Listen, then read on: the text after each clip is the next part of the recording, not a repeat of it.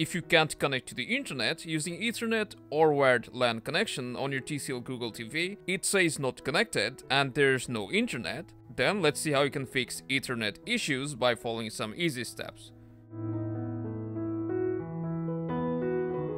First make sure that the Ethernet cable is connected to your TV and your router's LAN port properly. After that, if you still see Ethernet is not connected, then you can go ahead and turn off Wi-Fi to see if it's fixed. If you're still not getting any internet through the Ethernet connection, you can try connecting to the same router's Wi-Fi and see if the wireless connection works. If you're unable to reach internet, even with the Wi-Fi, then it means you need to troubleshoot your internet connection first. But if Wi-Fi works and Ethernet isn't working, in that case you can try changing the Ethernet cable to a new one or changing the LAN port. If it's still not working, then check your TV's LAN port and see if there's any excess debris that's causing this issue.